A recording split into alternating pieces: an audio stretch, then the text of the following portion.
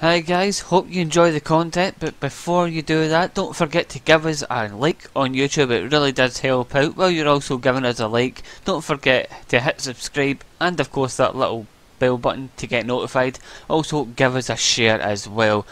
But before you do that, you can also get a contact with us via Discord. The link is in the description below. So, on to the videos.